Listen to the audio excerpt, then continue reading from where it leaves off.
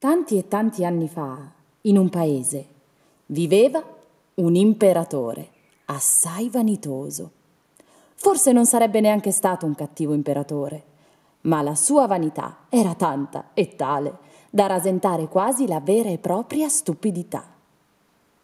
E fu così che un giorno arrivarono a corte due veri e propri imbroglioni, ma furbi e senza scrupoli pronti a qualsiasi cosa per denaro. I due uomini erano già a conoscenza della debolezza dell'imperatore per i bei vestiti. E fu così che sparsero la voce di essere tessitori abilissimi, capaci di creare una stoffa unica, speciale. Questa stoffa risulta invisibile a chi degno non è, vostra maestà.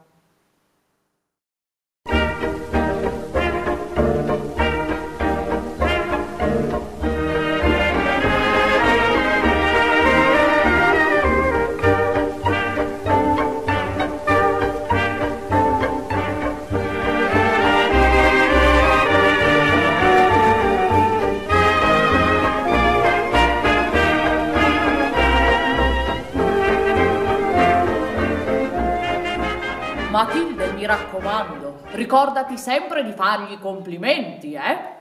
L'imperatore concedette subito ai due imbroglioni una stanza dove poter tessere la stoffa meravigliosa senza essere disturbati da nessuno. Oddio, non riesco a vedere la stoffa. Che sia stupido. O forse non sono adatto a essere imperatore.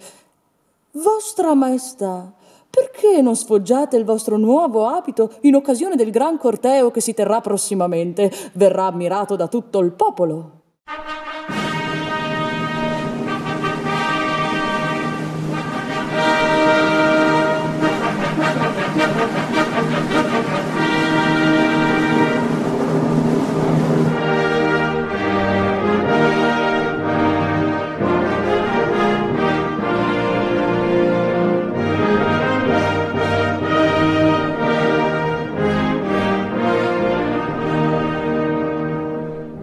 Mentre il corteo si incamminava fra due ali di gente festosa e applaudente, dal mezzo della folla si alzò una vocina.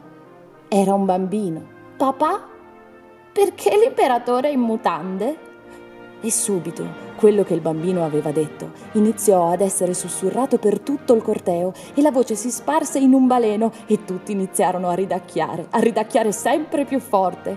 L'imperatore rabbrividì perché sapeva che avevano ragione.